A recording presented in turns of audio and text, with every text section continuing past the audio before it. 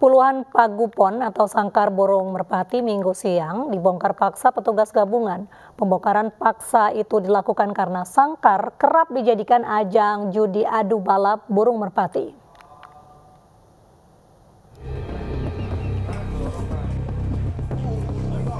Petugas gabungan dari kepolisian, TNI, dan Pemkot Surabaya membongkar paksa puluhan pagupon atau sangkar burung merpati yang ada di area lapangan kawasan Jalan Pelosok, Kecamatan Tambak Sari, Surabaya. Pembongkaran paksa yang berkali-kali dilakukan petugas gabungan ini karena di kawasan tersebut setiap akhir pekan kerap dijadikan ajang judi adu balap burung merpati. Tidak hanya membongkar paksa pagupon, Polisi juga menyita belasan ekor burung merpati yang kedapatan masih berada di dalam pagupon. Ini setiap sore diindikasi di hari Sabtu dan Minggu mereka ramai mendatangi tempat ini.